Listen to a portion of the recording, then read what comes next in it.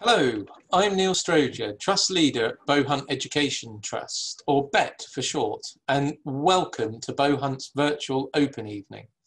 Bohunt School Worthing is a shining example of our Trust First approach in action.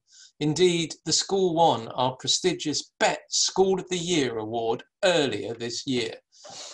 As Trust Leader, it is a privilege to lead such a successful and happy group of schools and to work in partnership with enthusiastic and ambitious students, committed staff, and supportive parents and governors. Our ethos is a simple one enjoy, respect, achieve. And across all schools in the Trust, we have the same approach.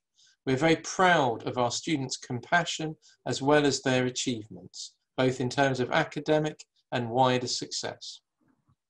At BET, we offer an unparalleled range of opportunities to young people, people of all talents, all abilities, regardless of background.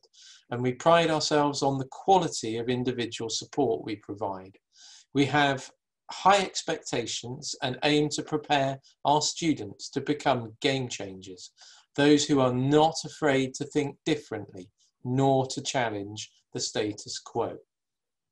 Everything we do is centered on ensuring that each student is educated and supported to succeed in the world today as an individual, a member of a team, and as a global citizen. Thank you.